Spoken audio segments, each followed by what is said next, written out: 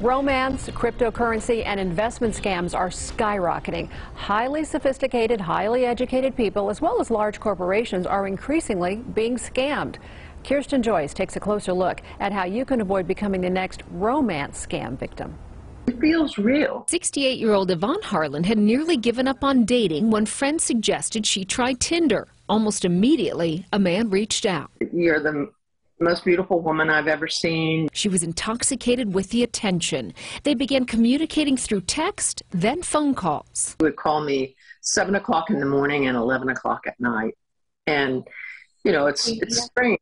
Someone is calling you regularly and texting like that, you sort of begin to anticipate then. But the first red flag came when he canceled their in person meeting. He had an excuse, and a few weeks later, he asked her to help sell his father's European estate. And I thought, well, that's a real switch. You know, usually they're asking for money, they don't want you to receive money.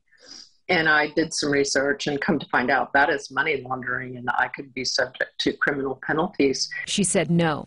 About a month later, after he professed his love for her, she didn't hear from him for two days. I wrote to him and I said, Is everything okay? And he goes, No.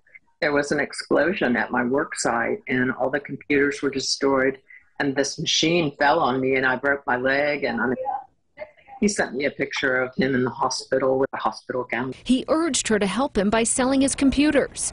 And that's when she called it off.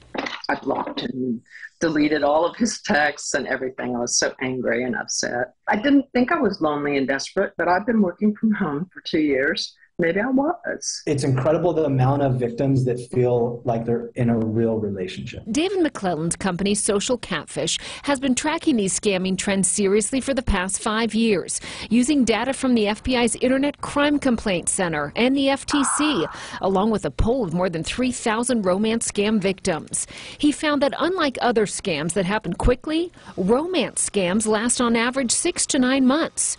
And 75% of romance scam victims have some form of college education. They're breeding you to become the person they want you to be. They're isolating you from friends and family. They're building this relationship and this persona that they've they've given you. More than a third of romance scams originate on social media, where scammers create fake profiles to engage. People are victimized all over the internet you know, on you know social media is, is, extremely popular you know, Instagram, Facebook, TikTok are still the top social networks that we've seen. We've seen a lot of emerging apps. So any app that you can talk to somebody online, so like a game like Words with Friends, where you can chat back and forth with strangers, we're seeing scammers target those. McClelland says keep your accounts private. Be cautious of strangers who randomly message you. Don't click on any links. Don't accept or send any money. In the end, it wasn't cash, but pride that Yvonne lost. You've gambled and you lost, and you, you know, you you've been made a fool of and you really kind of deserved it because I, you know, all along the way I knew red flags. So Yvonne now uses Social Catfish. It's an online investigation service that verifies information about the person you've met online.